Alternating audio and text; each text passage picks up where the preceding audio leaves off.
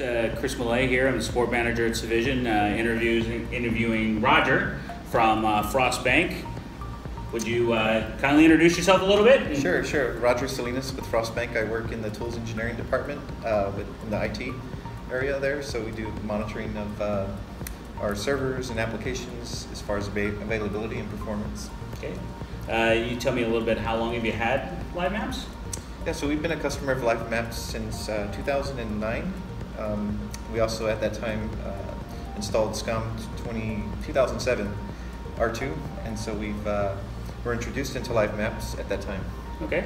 And then, uh, can you tell me a little bit what you're monitoring and how are you using Live Maps? I mean, wh- where where where are the dashboards being shown? Sure, yeah. So we, we have a uh, operations department that we uh, primarily use the dashboard for. Also, our help desk.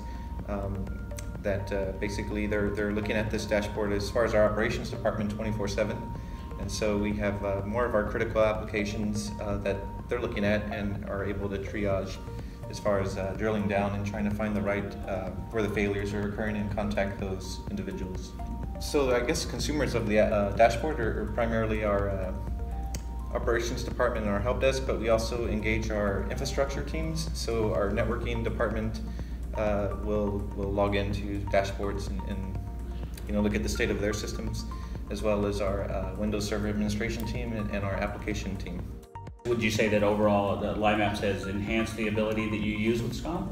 Yeah, it will. So I guess the biggest thing between Live Maps and SCOM is is we've uh, it's given us the ability to stay out of the SCOM console for the most part, um, particularly for our, our, end users, so that way we don't have to educate them in, uh, as far as telling them where to go to and the web accessing the web console within the native SCOM uh, web console.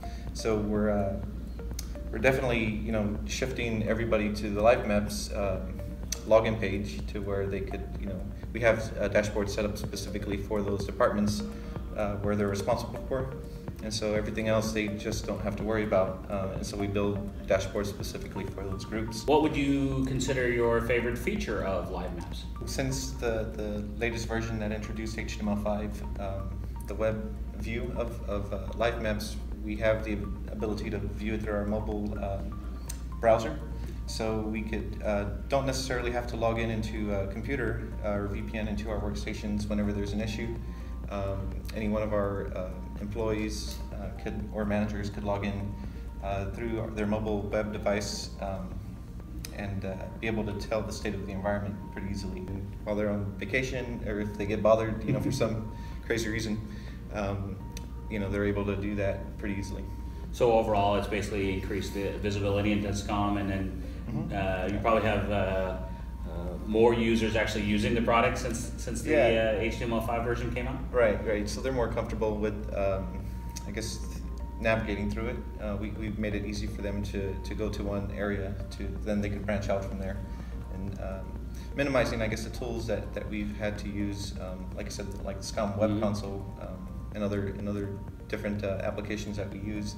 Um, we're able to centralize them and then link out from there. All right. Well, I, I I think that's pretty much it for now. Thank you very much. Yes, thank you. Thank I appreciate it.